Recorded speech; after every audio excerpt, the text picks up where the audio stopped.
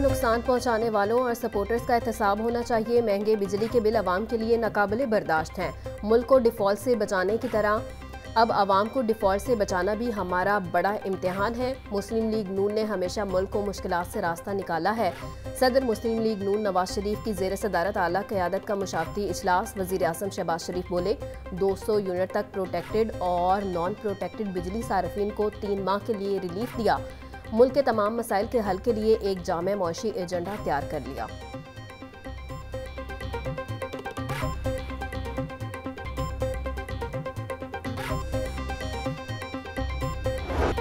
मुल्क को नुकसान पहुँचाने वाले कानून के शिकंजे में आएँगे। एक सियासी जमात और उसके लीडर ने मुल्क सलामियत पर हमले किए। नौ मई के हमले या आई एम एफ़ को ख़त का मकसद मुल्क को अदम इस्तेकाम का शिकार करना था। विफाकी वज़ीर इतलात अताउल्ला तारट की मीडिया से गुफ्तु कहा कि इंतशारी टोले का एहतसाब ज़रूरी है। आवाम को बिजली के बिलों में रिलीफ देंगे, एक इदारे की जानब से खुद एहतसाबी का अमल खुश आइंद है।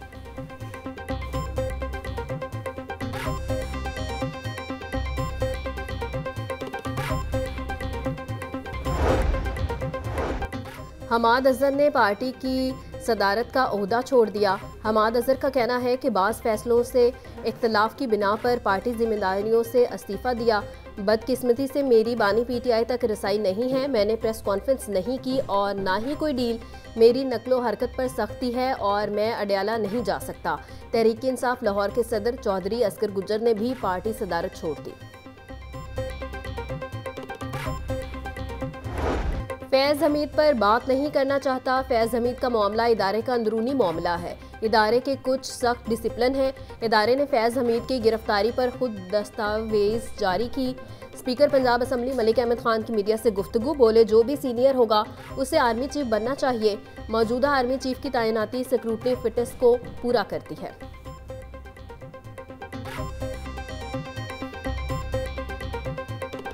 वज़ीर दिफा ख्वाजा आसिफ का आईएसआई के सरबरा, सबक सरबरा की गिरफ्तारी के हवाले से बात करने से गुरेज बोले, कोई नया तनाज़ा खड़ा नहीं करना चाहता। स्पीकर मलिक अहमद खान मेरे छोटे भाई और बेटे हैं।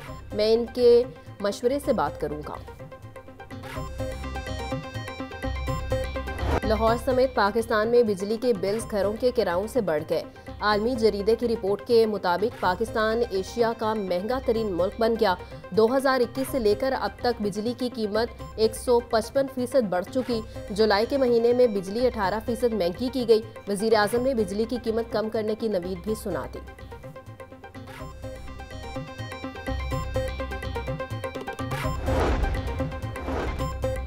वज़ीर अला पंजाब मरीम नवाज़ का वीएन आलूदगी से पाक पंजाब सीनियर वज़ीर मरियम औरंगज़ेब की जेर सदारत चार अहम सेक्टर्स पर पेशरफ का जायजा इजलास।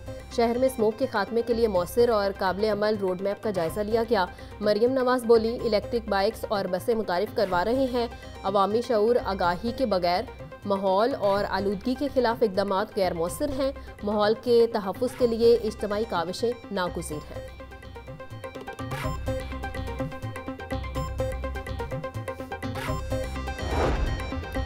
वज़ीर बल्दियाज जिशान रफीक की जेर सदारत वेस्ट मैनेजमेंट कंपनियों के सीओस का इजलास। Secretary local government Shakeel Ahmad Mian और दीगर मुतल अफसरों ने शिरकत की। पंजाब में सिफाई के निज़ाम की आउटसोर्सिंग के मनसूबे में पेशरफ का जायजा। जिशान रफीक बोले, पंजाब भर में सिफाई का यकसा निज़ाम राइज करना वजी अला पंजाब मरियम नवाज़ का विजन है। पायलट प्रोजेक्ट के तहत पंजाब की आठ डवीनों में सिफाई का काम आउटसोर्स हो जाएगा।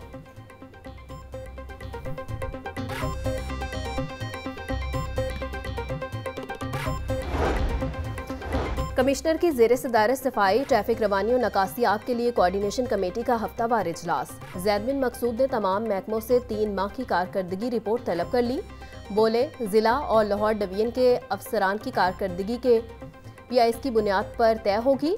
शहरी सहूलियात फराहमी और म्यूनसिपल सर्विसेज़ फराहमी में कोताही पर अफसरान ज़ीरो टॉलरेंस रखें। अच्छी कारकर्दगी पर तहसीन और कोताही पर वजाहत ली जाएगी।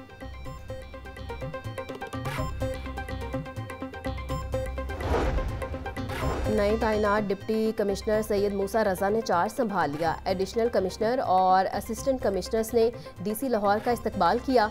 सैयद मूसा रजा की तमाम ज़िले अफसरान से मुलाकात। डिप्टी कमिश्नर सैयद मूसा रजा इससे कबल डीसी मुजफ्फरगढ़, रहीम यार खान और भक्कर रह चुके हैं।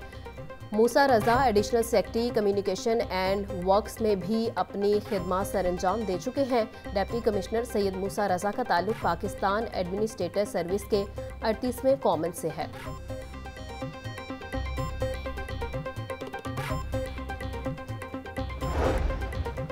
पैफ के तहत सरकारी स्कूलों को 30 सितंबर तक निजी शोबा या अफराद के हवाले करने का हुक्म जारी।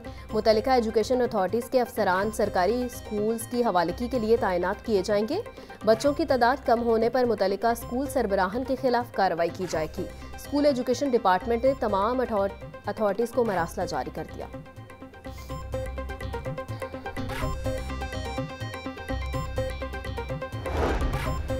पंजाब हुकूमत का तलीमी बोर्ड के पोजीशन होल्डर्स तलबा को इनाम देने का फैसला वज़ीर अला पंजाब मरियम नवाज़ ने मंजूरी दे दी। तलबा के एक एक टीचर को भी इनाम दिया जाएगा।